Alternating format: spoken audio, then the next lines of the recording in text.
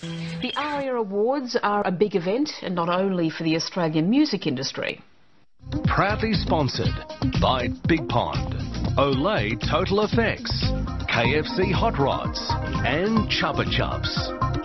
Those were the ads seen by more than a million viewers of Channel 10's ARIA coverage. But what about the ads that many viewers didn't see? And in a way they're all winners, but in another way, four of them aren't.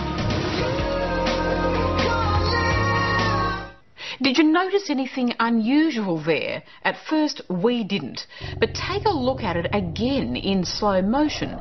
There's a single frame lasting just 1 25th of a second edited into the nominations clip. This one advertising the Toyota Yaris. The practice was used throughout the awards and some sharp-eyed viewers actually spotted it. While watching a video recording of the ARIAs, my 12 and 13 year old children noticed KFC flashing up on the screen. The other ARIA sponsors were also inserted using the same technique. There was Telstra.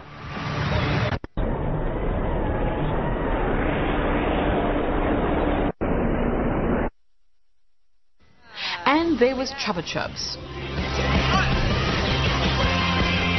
Did you miss that one? Here it is again at a speed you might pick up.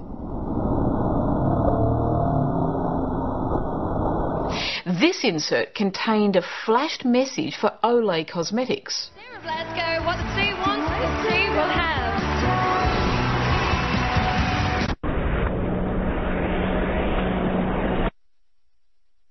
I just watched a video of it on YouTube which clearly showed Olay flashing very quickly on screen during the list of nominees.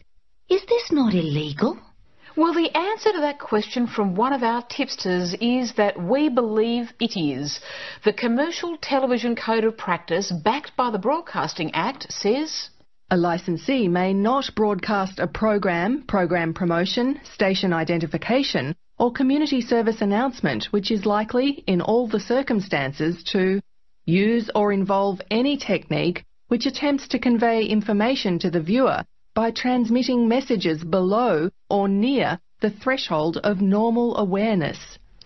Flashing advertising images below the level of awareness is known as subliminal advertising.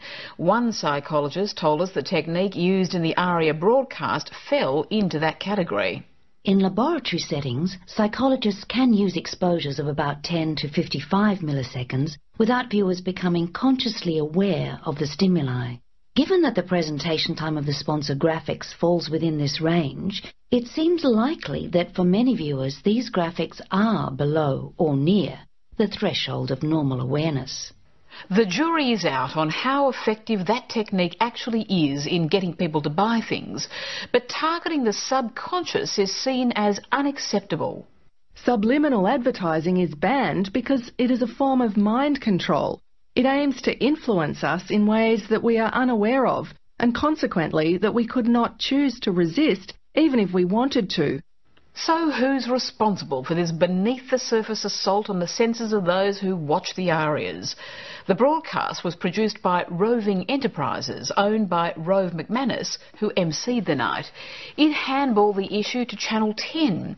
The advertisers who told us they just provided the logos and paid the money